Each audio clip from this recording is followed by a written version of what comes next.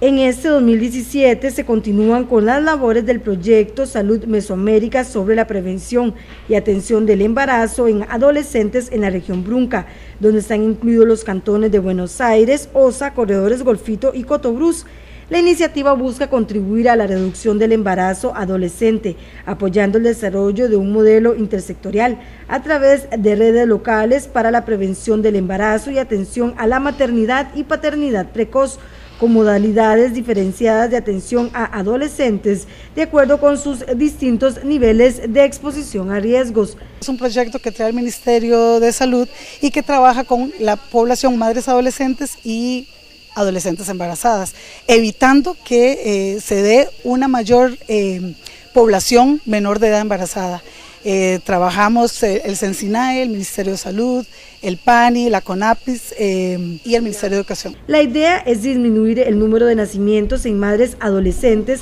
entre los 10 y 19 años de edad y la reducción del porcentaje de mujeres con dos o más hijos antes de los 19 años de edad. Todo el cantón completo porque se trabaja a través de los EBAIS. La atención primaria se da en los EBAIS por supuesto que evidentemente también lo que llegue al PANI, lo que llegue al ministerio y todo, todo lo que sea detectado se va a la, a la unidad mm, cantonal, digamos, de, de salud mesoamérica, ahí se revisan los casos, se envían referencias y lo que cada institución le corresponde realizar cada uno va a ir ejecutando y amarrando para que la población eh, sea cubierta en su totalidad. Este es uno de los proyectos en los cuales trabaja el Patronato Nacional de la Infancia en la zona sur, pero también hay otros en los cuales se dedican tenemos muchísimos proyectos, obviamente cada, cada um, oficina tiene su propia identidad y sus propias necesidades según su diagnóstico situacional.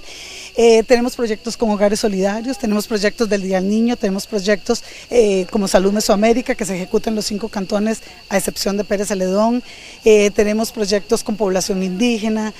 con familias, Academia de Crianza que ha sido un proyecto que, que vino para quedarse y ha tenido muchísimo impacto en la región. También cuentan con cuatro albergues donde tienen a unos 40 pequeños. En los albergues de la, de la región, que son cuatro albergues los que tenemos, eh, hay una población total de 40 niños, más o menos estamos en, subiendo y bajando, porque la idea nuestra no es institucionalizar los niños, todo lo contrario, es más bien querer que ellos permanezcan al lado de sus familias. En el PANI además cuentan con dos unidades móviles para hablar de la prevención en las diferentes familias en las comunidades.